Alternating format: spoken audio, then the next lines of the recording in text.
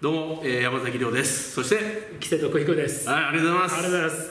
前回トラックのお部屋の中でお話をして、はい話して断熱の話めっちゃ聞いたじゃないですか、えで聞いてる間に最後の方になったら、はい働き方の話がちらっと出てきたんですよあ、はい。で、はい。働き方だけ切り出すのも変だけど僕木瀬さんのやっぱり生き方自体が楽しそうだしかっこいい。まあそれを全部含めてかっこいいやなと思ったので、もうぜひ次回ねまたそんな機会があったら話聞かせてくださいって思ってその後わがままを言ってやっぱり今撮影させてって言って、はい。えー場所変えて今、はい。また話を伺うことになりました、はい。ありがとうございます。ありがとうございます。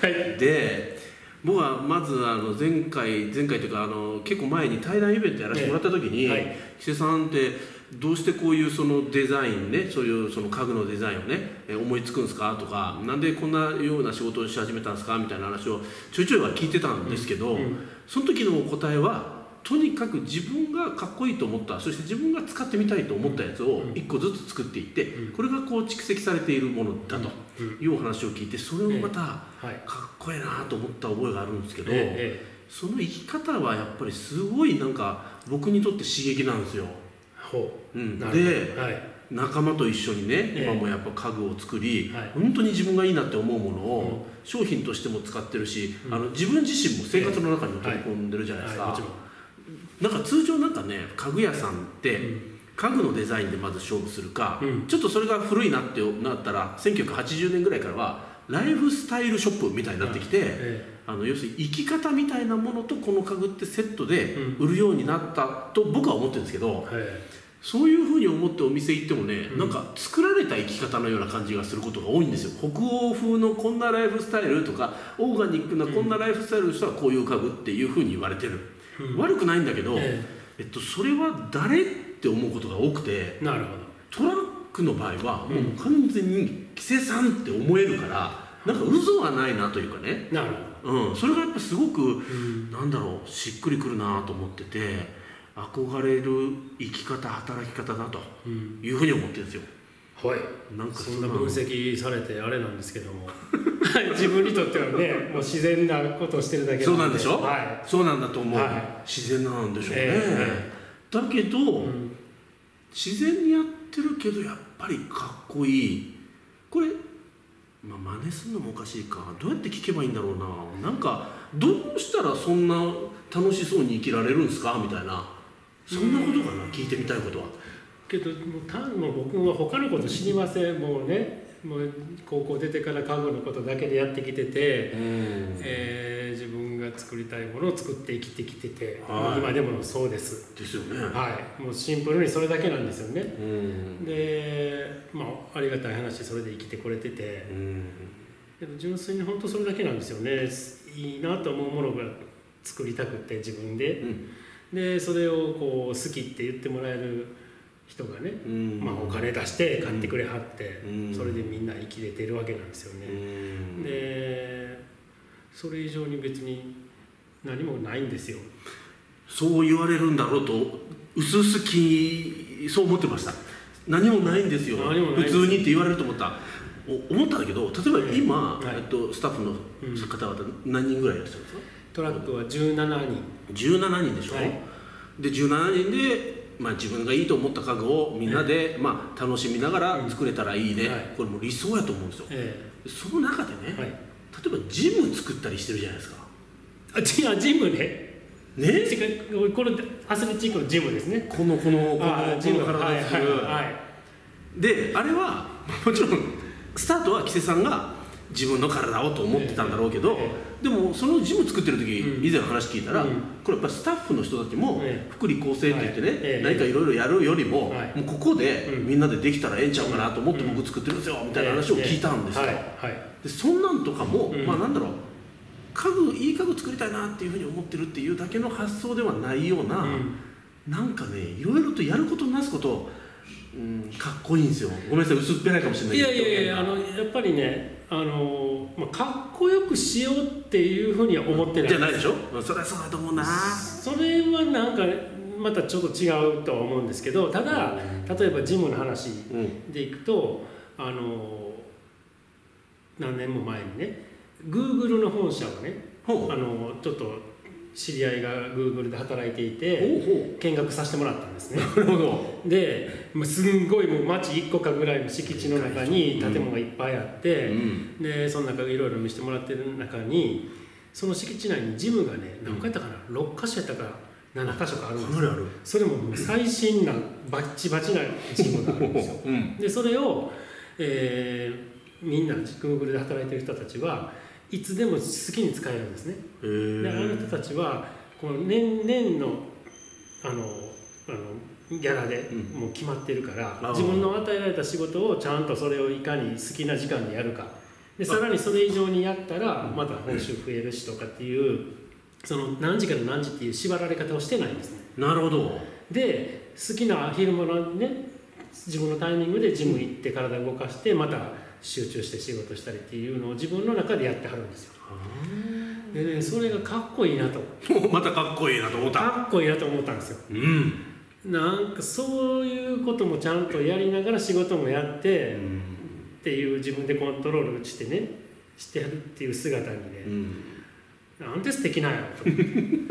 でまあちょうどジムの話ね、うん。まあ、よそにジム通ってたのもあって、うんまあそれが自分のところであったらね、うん。まあまあもちろん自分が欲しいから作ってるんやけどみんなもやっぱり体のことを考えて、うん。そういう鍛えることによってまたいろんなことに派生してね、はい。例えば食べるもののことであったりとか、いろんな自分の体を考えるきっかけにもなるじゃないですか。確かに。やっぱりそういうこともいろいろ意識してる人って素敵ですよね。うん確かにそうだわ。っていうようなまあそんな膨らましたそういう話なんですけど。はなんかその Google で見てあかっこいいなって思ったのは実際それが一つあったんですよ。あへえそれで実現したジムがまた空間がかっこいいわけじゃないですか。俺見せてもらったけどまあこれ。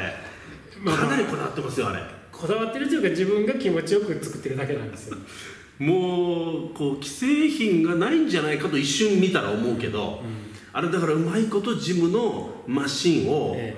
まあ、自ら作ったやつもあるし、うん既製品をこう変えていってるカスタマイズしてるやえまあ色だけ変えたりとか、うん。まあ、あの革に張り替えたりっていう。張り替えてた。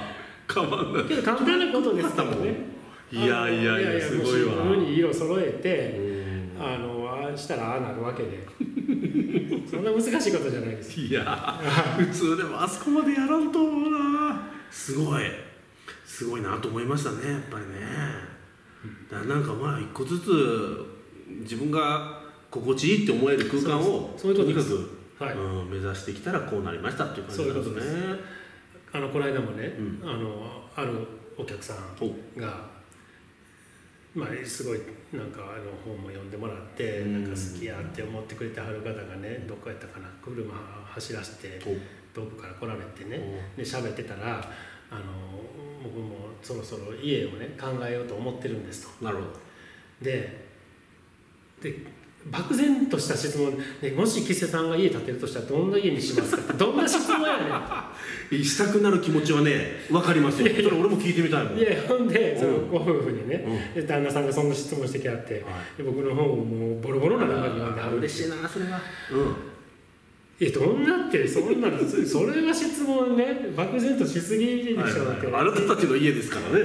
だけど、単純に自分の好きなものを集めて形にしたらいいだけやないですかと。っていうことしか言えなくてね。ううん。僕も自分でいろいろまあ家建て物建てる時もいろんなところでこう記憶にこうもあるものがやっぱり蓄積になってその好きなんが寄せ集まって形になってるんで、確かにそうだうんまあ家具もそうですけど、うんだからやっぱりそれで形になってるんですよね。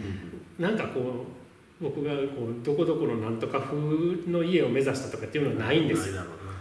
まあ、家具を作ってる時もそうなんですけど、はなんとなくのこう好きな要素が集まって形になってるだけなんですいね。うんだから結局は自分それぞれのもう好きって思えるもので生きていったらいいだけなんですよね。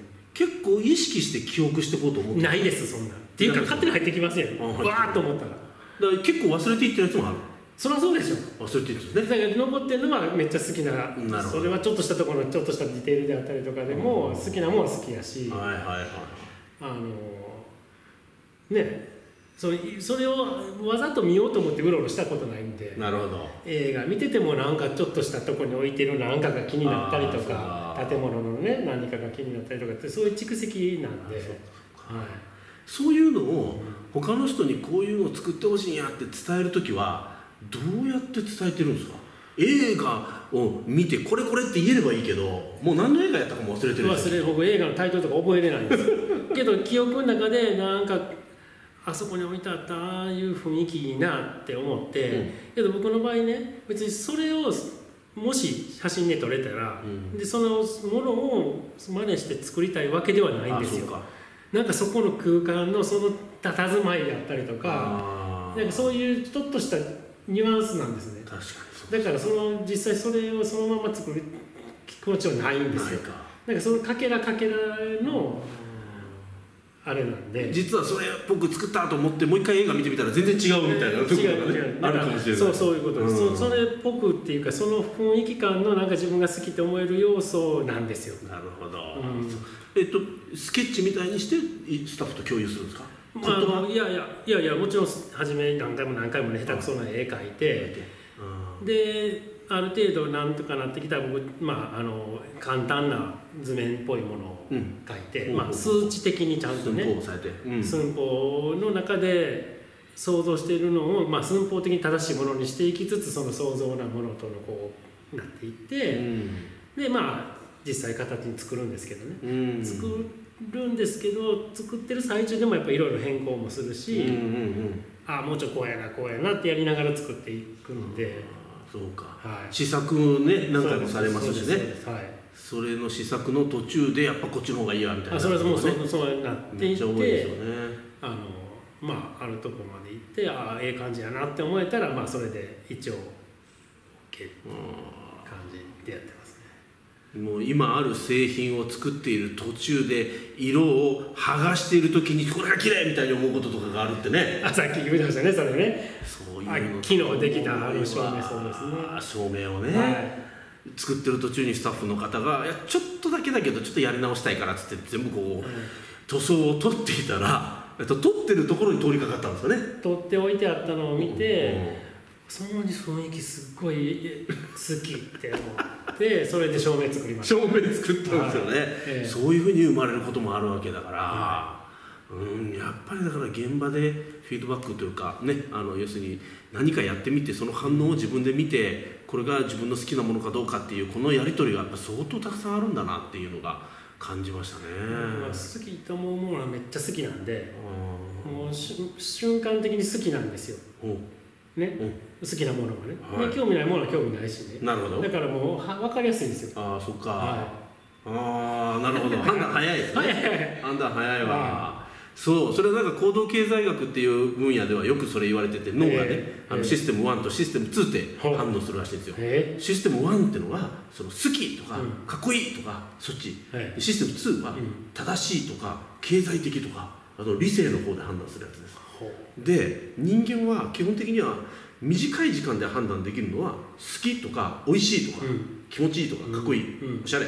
こっちあの予備知識がなくても判断できるものだから、先に判断が来るらしいんですね、はい。はい。で正しいとか経済的はこれ予備知識がないとうん判断できないから、ちょっと考えてからう遅れてそれが自分にとって正しいかどうかっていうのが来ると。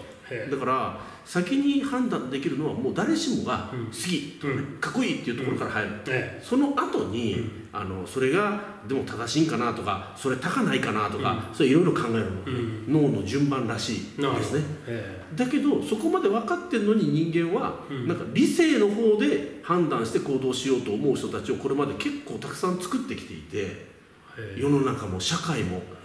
頭でっかちな、頭でっかちですよ要するにそのシステム2の方ええで判断する人を結構教育としても育ててきちゃったんだけど、うん。その好きとかいうので、うん。結構はっきりとね、うん。自分の行動をこっちで行こうって決められる人っていうのが、うん。意外と今少なくなってるらしくて。珍しいタイプなんですよそんな、え好きかっこいいこれだけで行こうって言えるの、はでもねっていうのがすぐついちゃう癖を僕らは作っちゃってるみたいですね、はあうん、希少価値があけど単純に言うたらそっちが先ですよる、とね思いますよ。そう思います。けど僕はあのそのねいろんなこと考えてのそっち側の話もうん。成り立たしたいんですよ。